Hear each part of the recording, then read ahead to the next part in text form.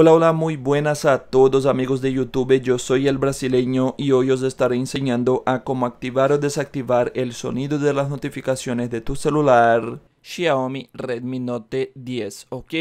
Dicho esto, chavales, empecemos. Lo primero que vamos a hacer por si quieres activar el sonido porque no te suenan las notificaciones será darle clic aquí al volumen de más, ¿vale? Cuando le damos aquí le damos un clic a los tres puntitos y el volumen de las notificaciones aquí que sería este tiene que estar al máximo, ¿vale? Si entramos en ajustes o configuración, entramos en sonidos y vibración, el tono de las bueno, tono de llamada y serían las notificaciones también, si no me equivoco, esto lo tenemos que tener al máximo, ¿ok? Luego podemos entrar aquí en notificaciones. Venimos a tonos de llamada preinstalados, ¿vale? Venimos en notificaciones.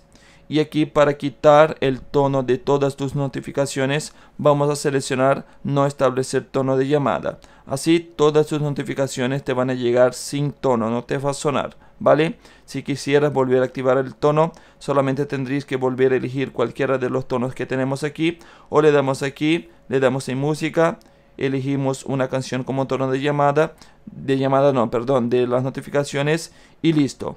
Luego también centramos aquí en ajustes o configuración, ¿vale?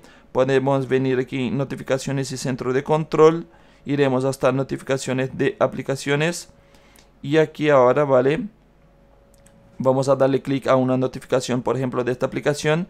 Si por aquí podemos quitar o poner el sonido de, de las notificaciones de esta aplicación. Por ejemplo, quieres quitar el sonido de WhatsApp.